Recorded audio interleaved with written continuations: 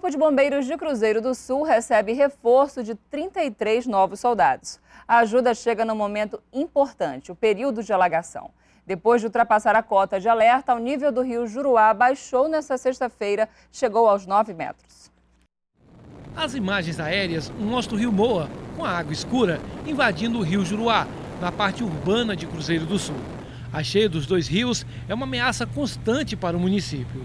Dois bairros, Lagoa e Miritizal, que ficam próximos à ponte, são os primeiros afetados.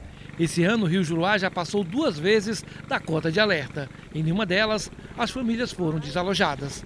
A vegetação que desce com a correnteza indica que ele voltou a subir. A Defesa Civil não para de monitorar os dois rios. As chuvas constantes na região não descartam uma alagação.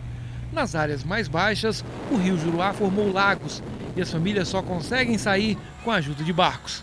Para ajudar as famílias numa possível enchente, foram apresentados nesta sexta-feira 33 novos bombeiros militares que vão atuar na região do Juruá.